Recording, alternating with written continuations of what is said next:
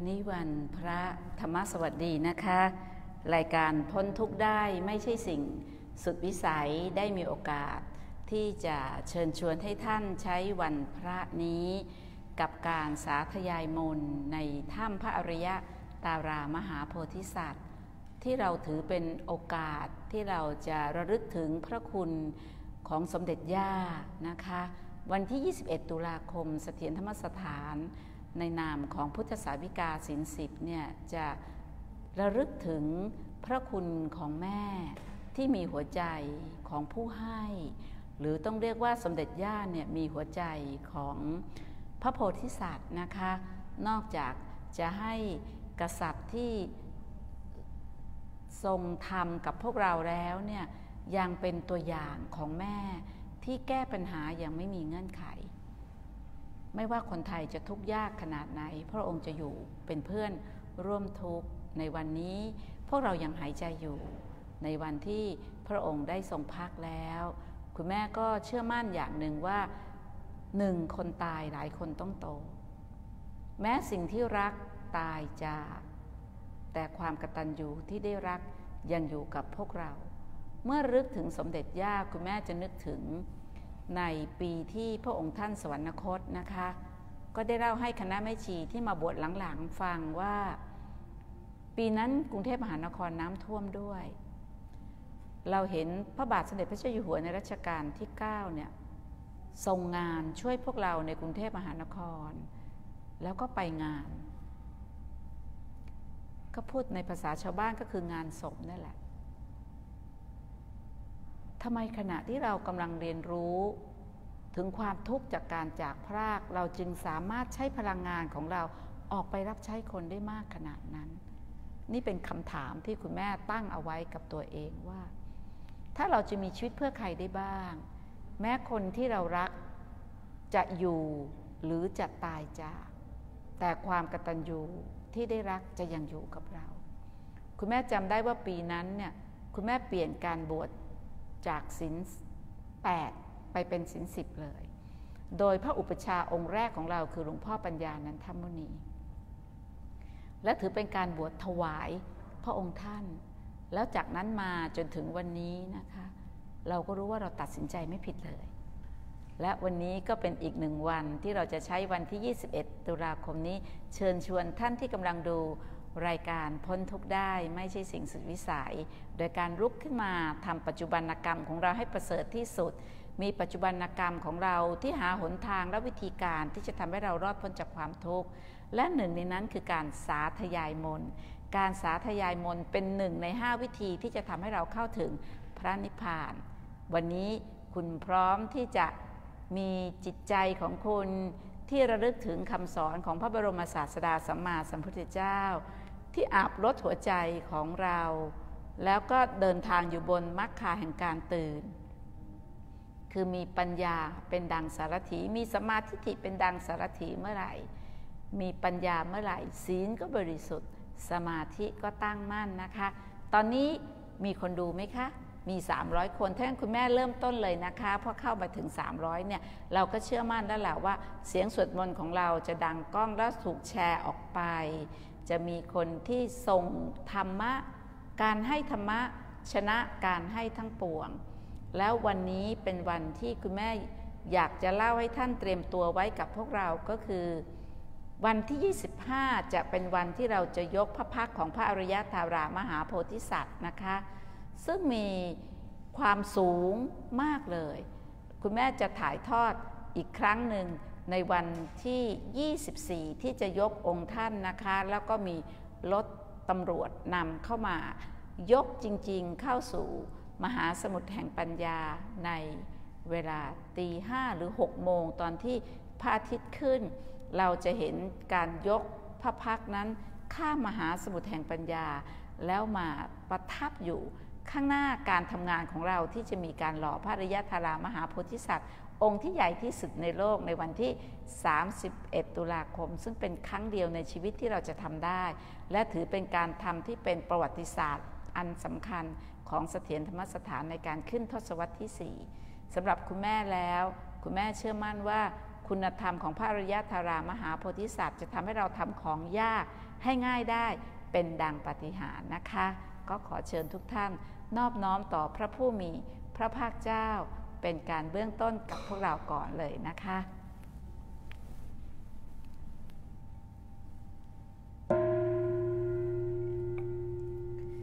ขอเชิญเถิดพวกเราทั้งหลาย จงทำความนอบน้อม ต่อพระผู้มีพระภาคเจ้า เป็นการเบื้องต้นเถิดหัน ธรรมยังพุทธัสสะภะคะวะโต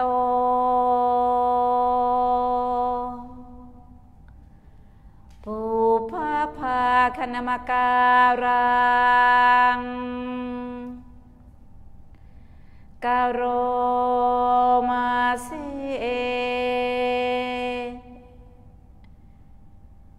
นะโมตัสสะ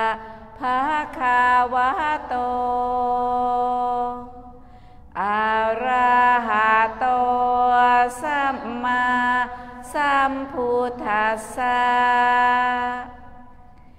นะโมตัสสะภะคะวะโต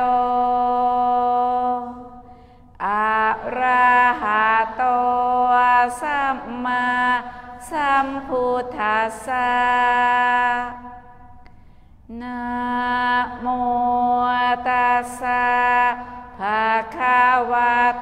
โต พุทธัสสะอิติปิโสภะคะวะอะระหะสัมมาสัมพุทโธวิชาจารณาสะปันโนสุขโตโรกาวิชูอา ตารโรปุริสัทธามาสาราธีสัทธาเทวามนุษย์สานังพุทโธภาคาวาติสวาคาโตภาคาวาตาธรรมโมสะ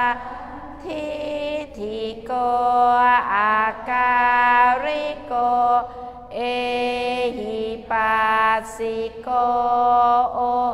ปานายิโกปัจจาตังเวทิตาโพวินยูหิติสุปฏิปันโนภาคาวะโตสาวกสะโคอุชุปฏิปันโน ภาคาวะโต สาวกสะโค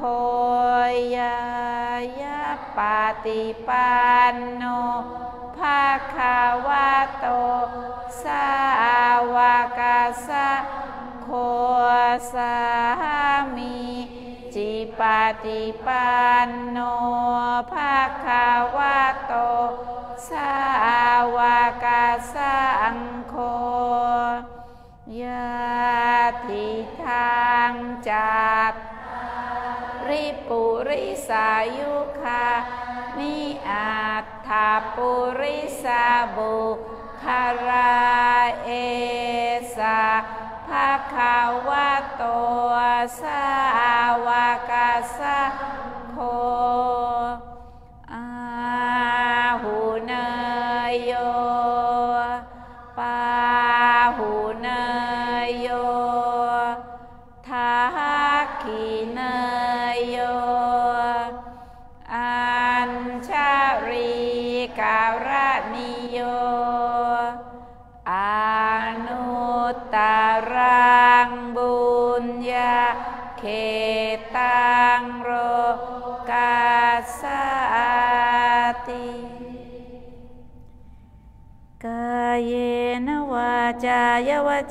ตสาวา พุทเทกุกรรมังปะกะตังมยายังพุทโธปฏิคันหาตุอัจจยันตัง การันตะเรสังวริตุงวะพุทเท กายเยนวาจายวเจตสาวาธรรมเมกุกรรมังปะกะตังมยายัง ธรรมโมปฏิคันหาตุอัจจยันตัง การันตะเรสังวริตุงวะธรรมเม กายเยนวาจายวเจตสาวา สังเคกุกรรมังปะกตังมยายังสังโฆปฏิคันหาตุอัจจยันตัง การันตะเรสังวริตุงวาสังเค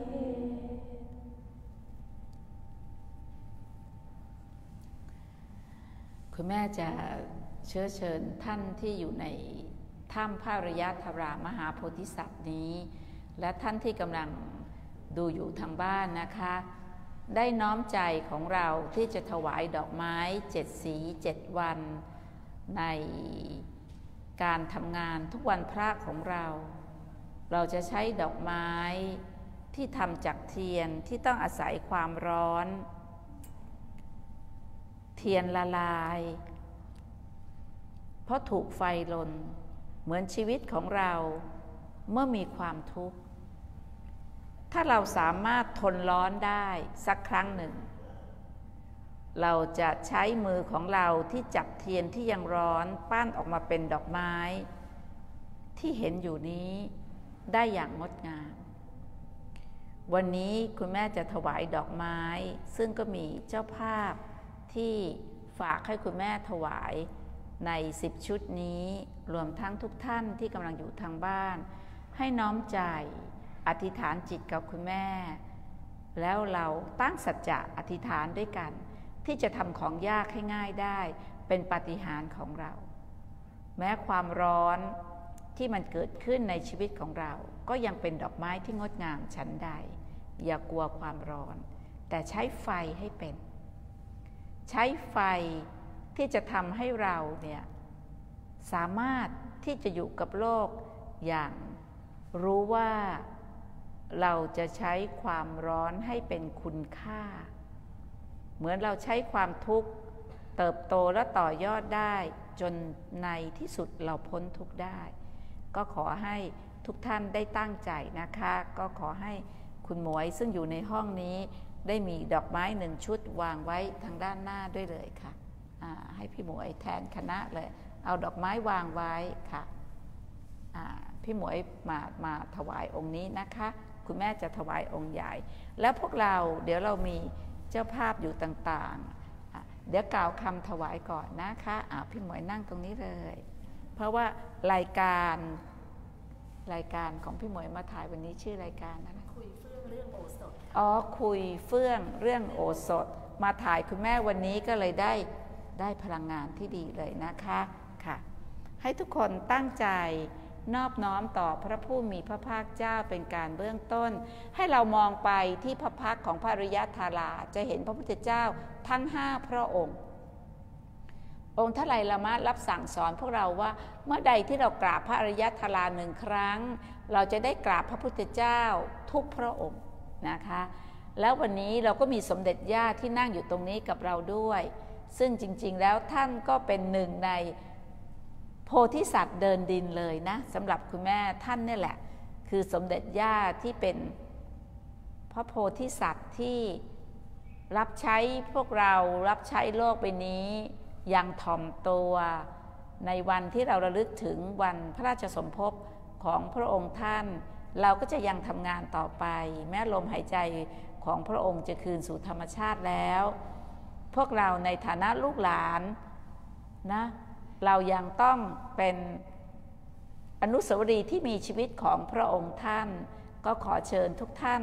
ได้นอบน้อมต่อพระผู้มีพระภาคเจ้าเป็นการเบื้องต้นอีกครั้งหนึ่งค่ะ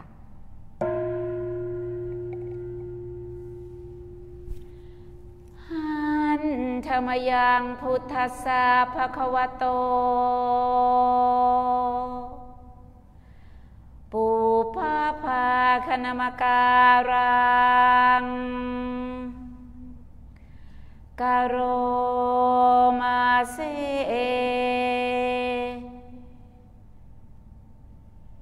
นะโมตัสสะภะคะวะโต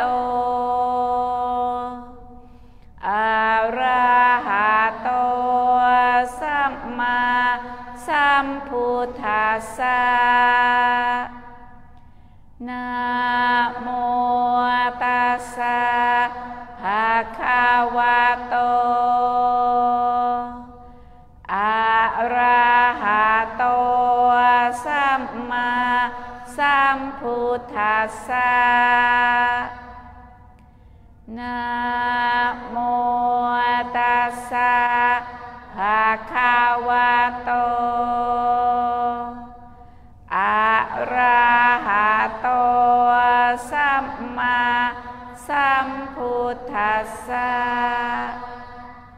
แม่จะนำพวกเราระลึกถึงพระรัตนตรยัย กรุณาว่าตาม พุทธังธรรมัง สังฆัง สรนังคัจฉามิ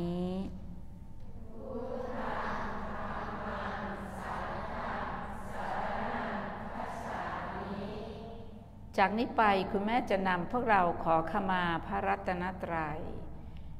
ไม่ว่าเรา จะเคยมีเจตนาหรือไม่ อาจจะพลาดพลั้ง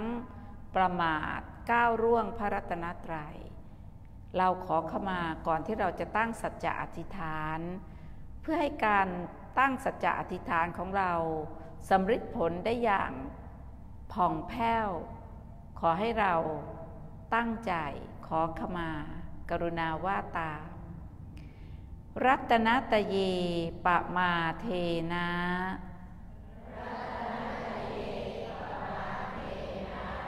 ทวารตเยนกตัง สัพพัง อปราทัง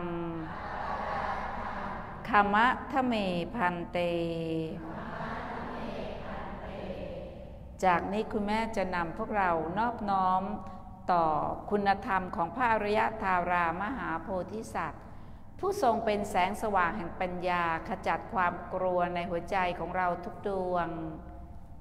ผู้ทรงมีมหากรุณาในการให้อภัยอย่างลึกซึ้ง และ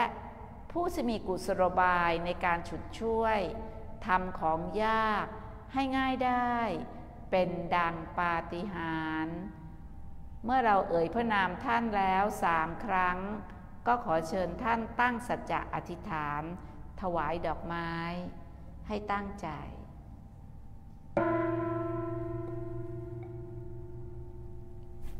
ขอนอบน้อมต่อพระอริยตารามหาโพธิสัตว์ ผู้ทรงเป็นแสงสว่างแห่งปัญญา ขจัดความกลัวในหัวใจของเราทุกดวง โอมตาเร ตูตาเร ตูเร โซฮา ขอนอบน้อมต่อพระอริยตารามหาโพธิสัตว์ ผู้ทรงมีมหากรุณา ในการให้อภัยอย่างลึกซึ้ง ขอให้เราได้ให้อภัยต่อตัวเราเอง และให้อภัย ต่อบุคคลที่เราเคยคิดว่าเขาทำร้ายเรา โอมตาเร ตูตาเร ตูเร โซฮา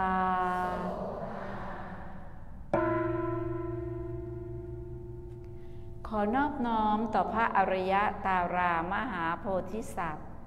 ผู้ทรงมีกุศโลบายในการฉุดช่วย ทำของยากให้ง่ายได้ เป็นดังปาฏิหาริย์โอมตาเร ตูตาเร ตูเร โซฮา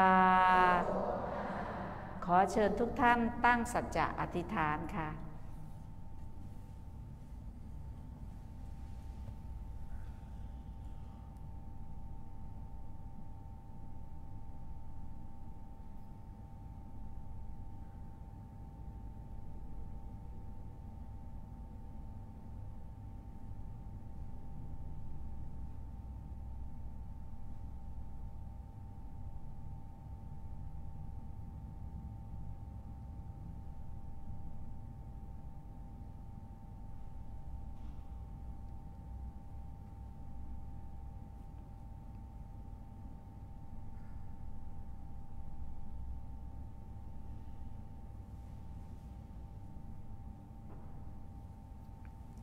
คุณแม่ขอพระบารมีแห่งพระอริยธารามหาโพธิสัตว์ ได้ประทานปัญญาให้กับทุกท่านที่จะขจัดความกลัวและอวิชชา สิ่งใดที่ยากในชีวิตของท่านให้ง่ายได้เป็นดังปฏิหาร ขอให้ท่านได้ใช้ปัญญาในการแก้ปัญหา ให้อภัยลึกซึ้ง แม้สิ่งนั้นจะไม่น่ารัก ก็ขอให้ท่านยังมีความสุขที่จะรัก และไม่ว่าเรื่องใดในชีวิตของท่านที่ยาก ก็ขอให้ท่านทำสิ่งที่ยากนั้นจนชำนาญ จนเป็นปาฏิหาริย์เป็นสัจจะบารมีที่ท่านจะไม่ย่อท้อจะไม่สิ้นหวัง เพราะท่านจะเป็นนักลงทุนในกฎแห่งกรรม ลงทุนอยู่ในการกระทำเหตุทำเหตุอย่างสุจริต ผลก็สุจริตด้วยกันทุกท่าน ทุกคนเธอ